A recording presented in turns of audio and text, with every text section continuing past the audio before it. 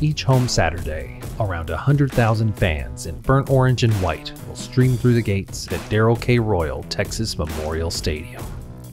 But before kickoff, before the first plate of brisket or cup of Coors Light is sold, the Texas Athletics facilities team spends months preparing these hallowed grounds.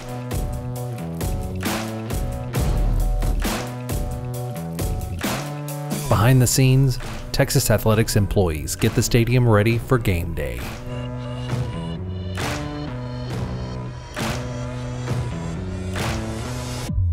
This season, more than half a million fans will watch Texas play football.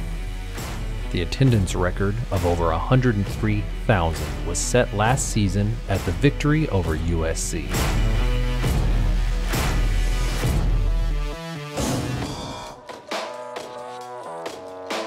Every week after a game, the power washing crew will spend between 30 to 40 hours hosing away nacho cheese, beer, and sticky snow cone juice. For the next two seasons, Texas will play while construction is underway in the south end zone.